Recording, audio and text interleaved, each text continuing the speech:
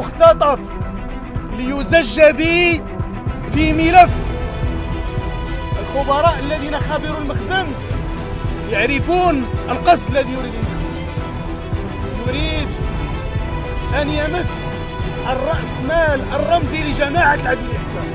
إن جماعة العدل والإحسان أرادت لهذه الأمة وأرادت لهذا الشعب العزة والكرامة والسؤدد والسعادة في الدنيا والآخرة.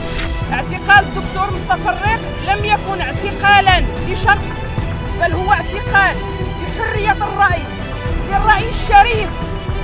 هو اعتقال للكلمة الحرة في هذا البلد الذي يتبجح بالحريات ويتبجح بحقوق الإنسان. هذه الجماعة أبت رغم المساومات.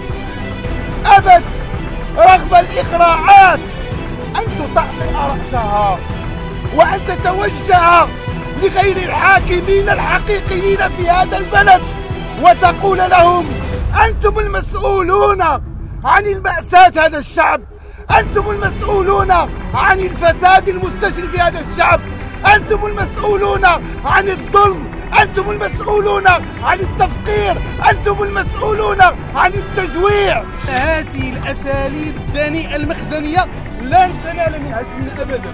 رغم ما تمكرون فنحن على الدرب سائرون ولن تثنينا مثل هذه الأفعال الماكرة الدنيئة الخسيسة.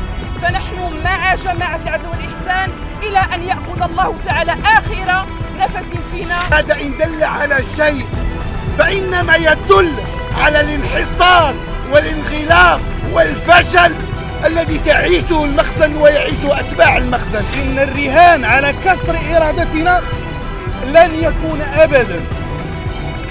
لماذا؟ لأن تعلقنا بالله عز وجل هو الضامن والناصر. اطمئنوا أيها الإخوة وليخسأ الأندال الذين يراهنون على كسر الإرادة لن ننتصر أبدا